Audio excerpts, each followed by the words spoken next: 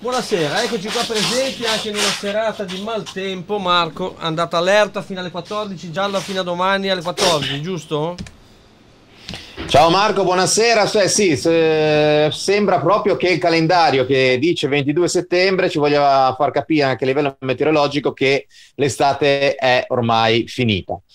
Eh, un po' le temperature sono quelle tipiche del periodo, cioè non troppo fredde, ma sicuramente eh, lontane dal calore della settimana scorsa, eh, possiamo anche aggiungere fortunatamente, eh, però siamo qui, siamo qui a eh, informarvi, informarvi sul, eh, su questa pandemia che mh, per quanto riguarda il dato prettamente odierno potremmo dire che c'è un rallentamento dell'aumento, perché ci fu sempre un aumento, ma rallent- però, però, però la situazione è sempre abbastanza in, in ascesa, eh, in ascesa in Italia, soprattutto però in ascesa fuori dai confini italiani, ma avremo modo di parlarne, parlarne più tardi.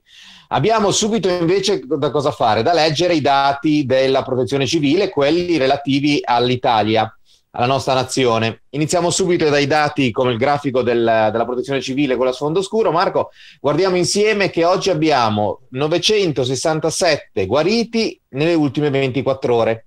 Stiamo sfiorando i 220.000 guariti dall'inizio della pandemia. Abbiamo però anche in salita il numero degli attualmente positivi, 45.489 oggi in Italia, fra quelli tamponati sono positivi ancora, sono deceduti purtroppo 35.738 persone dall'inizio della pandemia e oggi abbiamo superato la quota fisiologica dei totali casi positivi di 300.000. 300.897, ben 1.392 tamponi positivi nuovi eh, in più rispetto a ieri. Questi sono i dati nazionali un po' in sunto. Andiamo a vederli più nel dettaglio col grafico 1, Marco, che ci dice appunto quanti nuovi tamponi sono stati trovati oggi, 22 settembre. 1392, 1392 nuovi tamponi che se andiamo a vedere però quanti tamponi sono stati fatti col grafico 3, come sempre facciamo, eccolo qua il dato. I dati del 22 settembre si attestano a 87.303 nuovi tamponi fatti nelle 24 ore.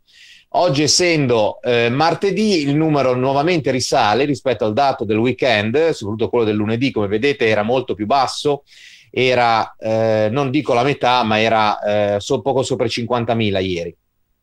Non è da record quello di oggi, eh, stiamo, specifichiamolo, però è un dato in, in, aumento. E quindi andiamo come sempre a vedere il rapporto fra questi due dati col grafico 08 e insieme a questi due dati riusciamo a sapere che abbiamo una percentuale di positivi sui tamponi fatti in totale pari all'1,6%. Quindi ieri avevamo avuto tanti positivi e pochi tamponi, infatti vedete lì vicino c'è eh, una, un, un, istogramma più alto, ben più alto, era al 2,5 2,4 ieri, eh, alto anche nella giornata di domenica, sfiorava al 2, oggi siamo tornati a un valore diciamo in, nella media nell'ultimo, dell'ultimo mese.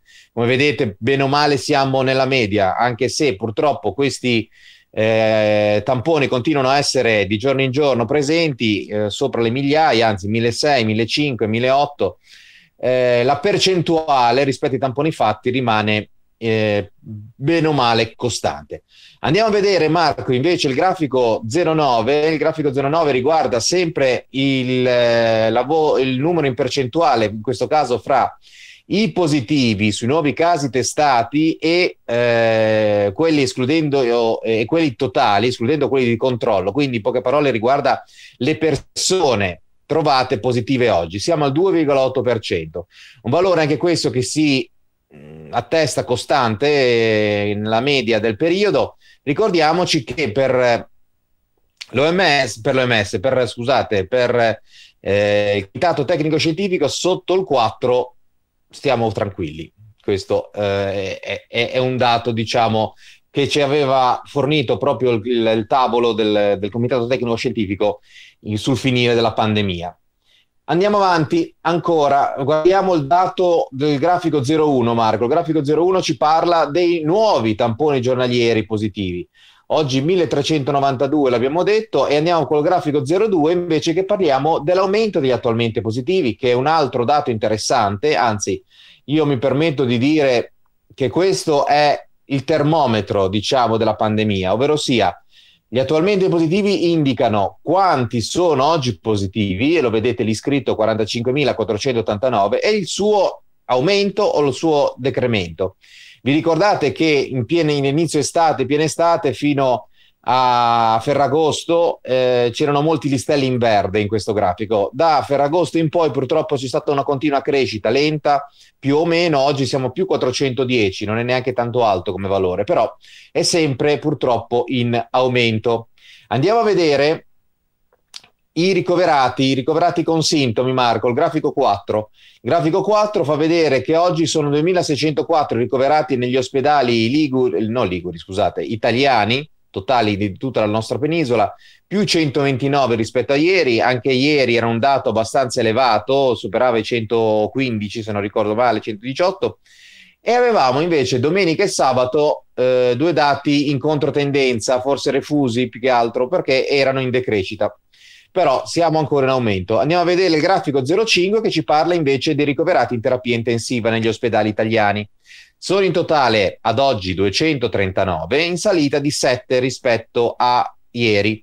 Andiamo a parlare del grafico, grafico 06 dei deceduti nelle ultime 24 ore, siamo a 14 in più. Ricordatevi che nel periodo, diciamo, migliore, possiamo definirlo così, ovvero sia in piena estate, la media era di 5-6 al giorno. Ultimamente abbiamo invece una media di eh, 10-12 eh, decessi per Covid con il Covid al, nel, nelle 24 ore. Andiamo a parlare però anche di eh, guariti, eh, il grafico 07. Il grafico 07 ci fa vedere i nuovi guariti giornalieri, oggi 967 in più rispetto a ieri. Stiamo, come detto, sfiorando i 220.000 guariti dall'inizio della pandemia.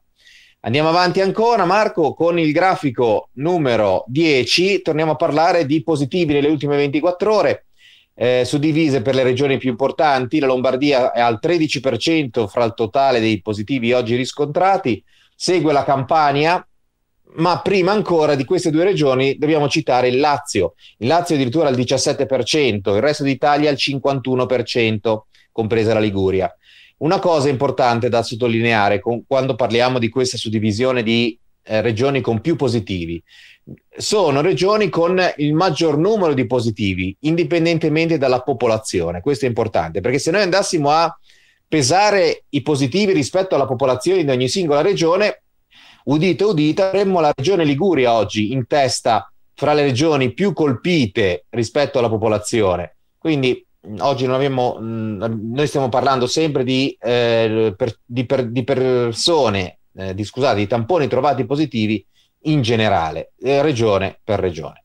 Andiamo a parlare un po' adesso di dati regionali, l'abbiamo accennato prima, andiamo a vedere insieme il dato di Regione Liguria con il grafico 00. Iniziamo subito dal fatto che oggi abbiamo 105 nuovi tamponi positivi, 12.661 dall'inizio della pandemia. Abbiamo anche 49 in più fra gli attualmente positivi, fra questi sono 5 in più in ospedale, 165 in totale, e due in più fra questi in terapia intensiva, purtroppo sono a quota 17. Abbiamo anche eh, costante invece il numero degli isolamenti domiciliari in atto, 1365. Abbiamo da citare anche il fatto che abbiamo 55 nuovi eh, guariti, cioè non più positivi, secondo tampone negativo, 8.194 dall'inizio della pandemia. I deceduti, i decessi oggi sono 1, eh, 1.592 in totale dall'inizio della pandemia fra i liguri. I tamponi fatti oggi, numero importante, possiamo definirlo proprio così, 2.642 tamponi fatti nelle ultime 24 ore. Per quanto, nostra, per quanto, riguarda la nostra ASL di competenza territoriale, quindi la ASL 4, viene registrato il numero pari a 5 eh, di ricoveri e nessuno dei quali in terapia intensiva. Per quanto riguarda il dato eh, di Chiavari, per quanto riguarda il nostro Tiguglio, sono sette le persone chiavaresi attualmente positive al Covid-19. Non varia questo numero rispetto a ieri. Abbiamo un guarito in più rispetto a ieri e abbiamo 13 persone in sorveglianza attiva perché sono venute a contatto con un, eh, una o più persone positive oppure perché sono rientrate dall'estero per motivi di vacanza o di lavoro. Domande Marco? Ok, andiamo adesso a parlare di dati extra italiani. Eh, perdiamo subito la tabella numero 11, Marco. La tabella numero 11 ci fa vedere che cosa? Quanti tamponi vengono realizzati? In realtà facciamo un raffronto con i dati di altri paesi europei e il nostro dato nazionale. Tamponi realizzati, un dato giornaliero pesato, quindi cosa vuol dire? Per milione di abitanti, quindi confr- un dato confrontabile. E ci fa vedere quanti tamponi vengono fatti ogni milione di abitanti in eh, Gran Bretagna e parliamo quindi di 3.358, lo vedete lì, poco meno vengono fatti in Francia, che sono entrambi, eh, ricordiamocelo, anzi entrambi, tutti e tre, anche la Spagna che, che lo vedete subito sotto, sono tutti paesi europei che hanno un tasso di aumento di positività molto più alto dell'Italia, quindi sono, è anche normale che facciano molti più tamponi rispetto a noi, lo state vedendo. La Germania subito sotto con 1927 tamponi ogni milione di abitanti e poi noi 1483 tamponi fatti ogni milione di abitanti. Andiamo a parlare col grafico 13 anche di un argomento eh, un po' più pesante, cioè coloro i quali sono positivi ma sono anche ricoverati in terapia intensiva a causa Covid. Questo nell'ultimo mese, quindi il range è il 21 agosto fino al 21 di settembre. Guardate un po' come è cambiata. Il 21 agosto in Francia c'erano 367 pazienti Covid in terapia intensiva. Oggi c'è quasi il triplo, 912. Stesso ragionamento, stesso rapporto in Spagna, 541 il 21 di agosto, il 21 di settembre, ieri praticamente, 1417 persone ricoverate in terapia intensiva. Guardate però l'Italia. L'Italia anche in questo caso ha triplicato il valore, anzi più che triplicato, da 69 70. Siamo oggi, che era ad agosto, oggi siamo a 232 eh, persone eh, italiane ricoverate in terapia intensiva a causa Covid. Infine, il eh, infine, gli ultimi altri due ehm, dati importanti sono quelli della Germania, che aveva un numero abbastanza importante il 21 di agosto, 236, ma lo ha praticamente stabilizzato. Oggi ne ha 267, anzi ieri. Ehm, perché questo? Attenzione, perché la Germania però ha avuto un eh, riacutizzarsi della pandemia in piena estate, cosa che in Italia fortunatamente non era successo. Nel Regno Unito, nel Regno Unito c'erano 72 persone un mese fa ricoverate in terapia intensiva a causa Covid, oggi ne abbiamo contate 138, quindi poco meno del doppio. Quindi il Regno Unito è una situazione, ehm, però dobbiamo sottolineare il fatto che il Regno Unito ha una situazione sembrerebbe diversa, perché? Perché loro contano le persone in terapia intensiva esclusivamente quelle intubate. In realtà ricordiamoci che in terapia intensiva ci si può trovare per Covid anche senza essere intubati, ma con sintomi molto seri. Questo per quanto riguarda la terapia intensiva. Per quanto riguarda, tornando nello specifico nel Regno Unito, grafico 14, Marco, vediamo l'andamento di, de, del Covid in generale nel, in UK. Eh, abbiamo, vedete la montagnetta sulla sinistra che fa vedere la situazione pandemica di picco ehm, per quanto riguarda i casi, l'aumento di casi giornalieri, per poi vedere un nuovo aumento, una decrescita, per poi vedere un nuovo aumento in questi giorni, in queste settimane. Come vedete, sono nuovamente in crescita, non a livelli della, del, del cluster eh, più importante, quindi che era di marzo, apri, di aprile più che altro, e maggio, ma ci si stanno nuovamente riavvicinando purtroppo. Allontaniamoci dal dato eh, inglese per andare a vedere i dati mondiali. Dal grafico 20, Marco, il grafico 20 ci fa un po' il riassunto, come facciamo ogni volta, lo facciamo anche oggi perché dobbiamo un po' capire con i numeri e noi diamo numeri, non diamo i numeri, diamo numeri, che è una cosa diversa. Eh, a livello mondiale, oggi eh, il dato di oggi non c'è perché è ancora in essere, perché eh, si sta eh, ancora concludendo la giornata del 22, quindi parliamo dal 21 in giù. Oggi 21 di settembre, ieri 21 di settembre abbiamo in, Ita- in Italia, nel mondo, ancora quasi 9 milioni di persone attualmente positive al coronavirus. Guardate che numero che fa, fa quasi spavento. Ricordiamoci che sono 9 milioni quasi, 8 milioni 887 mila fra quelli testati, eh, non sono in totale. In totale, lo abbiamo già detto mille volte, purtroppo ci sono moltissimi asintomatici e altrettanti sintomatici ma non testati, quindi che esulano dai numeri ufficiali dell'OMS, quindi da questi numeri che stiamo leggendo insieme. Ripeto, oggi abbiamo 9 milioni di eh, persone nel mondo testate positive. 963.000 sono i numeri dei decessi ad oggi, eh, i 21 milioni 394 mila sono i guariti e abbiamo quindi un totale di, l'altro ieri l'abbiamo superato, 31 milioni di casi totali, 31 milioni 245 mila. Come vedete l'andamento, leggendo questa tabella, se riuscite a vederla insieme a me, è costantemente in crescita. In crescita purtroppo è gli attualmente positivi, in crescita il numero dei decessi, fortunatamente in crescita anche il numero dei guariti, naturalmente, però la tabella, la, la colonna, quella più a destra, ci dice che è in crescita anche il valore dei totali, che è quello più pesante. Andiamo a vedere insieme il grafico 21, la tabella 21, Marco, la tabella 21 parla dei singoli paesi in, eh, in, in classifica, chiamiamola così. Eh, svetta il USA, eh, ovvero sia gli Stati Uniti d'America, con oltre 4 milioni ancora oggi all'attivo, di eh, attualmente positivi al Covid, in salita, sempre in salita purtroppo. I deceduti sfiorano i 200.000 in America, in, in, salita anche questo, in salita il numero dei guariti e in salita comunque in generale il numero degli attualmente positivi che sfiora i 7 milioni in generale. L'India ha, sfiora- ha superato di poco il milione di attualmente positivi, fra quelli testati. In India purtroppo il test eh, del tampone è molto più difficile che nei paesi occidentali e quindi questo milione è nettamente riduttivo rispetto alla realtà attuale, come riduttivo anche il numero mh, dei, dei, deceduti sicuramente e il numero dei totali. Il Brasile è al terzo posto in, in, in discesa in questo caso, la Russia in salita con 176.000 attualmente positivi, la Colombia, la Colombia con 105.000, un altro paese latinoamericano che non sta scendendo ma di poco fra gli attuali positivi, ma sale fra i totali positivi. Il Perù, un altro paese che sta in questo caso salendo a 130.000 casi attualmente positivi.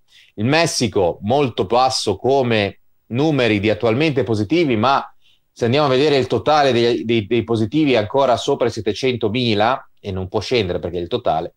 700.000 eh, totali positivi. La Spagna, il primo paese europeo che eh, si è rimessa a camminare purtroppo con gli attualmente positivi, anche così positivi in generale, 490.000, pensate, in, in Spagna ci sono 490.000 e oltre casi attualmente positivi. Eh, abbiamo in Sudafrica infine eh, 54.000 attualmente positivi con un totale di 662.000 casi.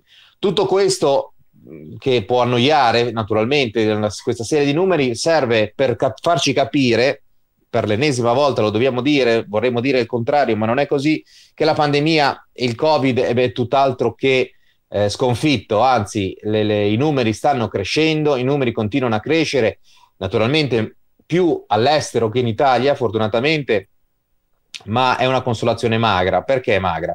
Perché abbiamo imparato a capire che basta un, uno spostamento della popolazione a livello intercontinentale o internazionale per far nascere nuovi focolai, quindi non c'è un'isola felice, non esiste un, un paese covid free, lo diciamo, nel mondo, e quindi questo ci fa capire che siamo tutti globalizzati, siamo tutti interconnessi, purtroppo nel bene, ma eh, anche nel male, come in questo caso con questa maledetta pandemia. Quindi sempre attenzione, sempre dobbiamo stare attenti a seguire i consigli e anche gli obblighi, spesso sono anche proprio no, norme da rispettare a livello di in, uso dei DPI, cioè delle mascherine, del, del, lavaggio delle mani con i gel o con il sapone, il distanziamento interpersonale, dobbiamo rispettarlo, dobbiamo continuare a rispettarlo e far sì che sia, diventi purtroppo un, un'abitudine. Dico purtroppo perché non vorremmo farlo, ma deve diventare consuetudine, la mancanza di una vita sociale mh, con, di contatto può e sta, anzi sicuramente, eh, logorando la nostra qualità della vita, lo, lo abbiamo imparato quest'estate, lo scorso autunno, lo scorso, scusate, la scorsa primavera, lo dovremo mettere in atto quel prossimo autunno e inverno, non, non ci si scappa, finché non arriverà un vaccino e verrà fatto su tutti noi. Ehm, in maniera massiva.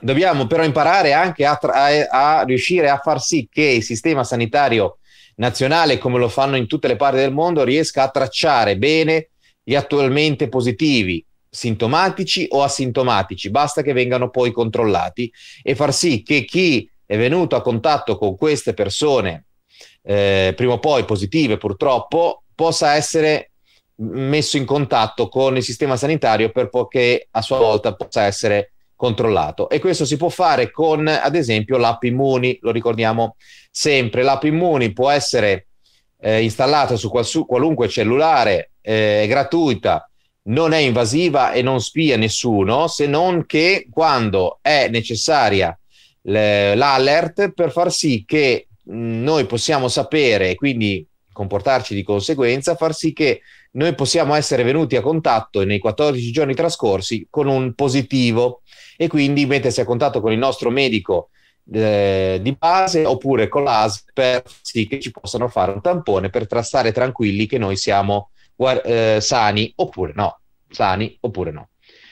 Domande Marco? Allora io ti ringrazio, rilanciamo l'appuntamento a giovedì prossimo, ritorniamo con l'appuntamento bisettimanale dalle 20 sempre qua su Entella TV. Grazie.